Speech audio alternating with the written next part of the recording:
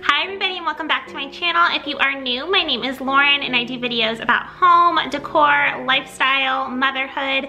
So make sure you subscribe before you leave so you don't miss out on any future videos. Now today's video is one that I'm so excited for because it is my Christmas home decor house tour.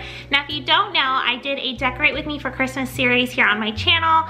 So make sure you watch those before you watch this video. I'll have them all linked down below so you can watch me decorate like my kitchen, my coffee bar, like hot cocoa station, the main living area, the entryway, even my bedroom. And this video is basically just going to be showing you the final product. Some things changed a little bit here and there. Um, I'm super indecisive, so I'm one of those people that like changes things around daily. So I wanted to take you guys through and just show you, and maybe this can be some inspiration for how you decorate your home for Christmas, or just help get you in the holiday spirit.